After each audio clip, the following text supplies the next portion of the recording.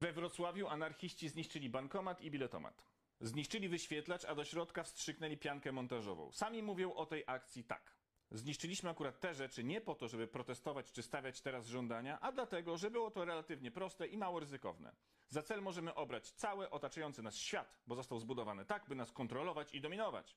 To, co zrobiliśmy, jest wyrazem solidarności i sygnałem dla wszystkich, którzy też walczą z tym światem. To iskra, z której może zrobić się pożar. Co tłumaczy w sumie tę akcję w Lublinie. No ale zostańmy na chwilę przy tych partyzantach e, ze spalonego lasu. Otóż, aby dokonać tego aktu wandalizmu, musieli wcześniej kupić tę piankę montażową w markecie budowlanym, który najczęściej jest po prostu gigantyczną korporacją. Stojąc przy kasie, musieli odczekać swoje, a potem na spokojnie zapłacić za, ten, za tę piankę montażową, jednocześnie nieświadomie płacąc kilka różnych podatków. Potem wsiedli w autobus i pojechali na miejsce bitwy z bankomatem.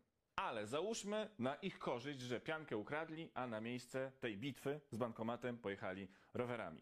No to na dowód tej zwycięskiej potyczki z kapitalizmem i z systemem zrobili zdjęcia, czyli wyjęli swoje smartfony, które zostały wyprodukowane no raczej nie przez nich na skłocie, zrobili zdjęcia i wrzucili je na Facebooka. A żeby zalogować się na Facebooka, musieliby wcześniej zrobić, stworzyć konto pocztowe, które to konto powiązali z Facebookiem. A więc stworzyli i konto pocztowe, i stworzyli konto na Facebooku. A najpiękniejsze i tak jest to, że aby wzniecić bunt u innych anarchistów, zmuszają ich do tego, aby ci też się zalogowali i weszli na Facebooka i założyli konto na Facebooka, czyli gigantycznego molocha, który jest symbolem tego, z czym walczą. Oni ich wszystkich namawiają, żeby przyszli, założyli konto na Facebooku, bo tam rzucają zdjęcia. Także dni systemu są policzone, moi drodzy.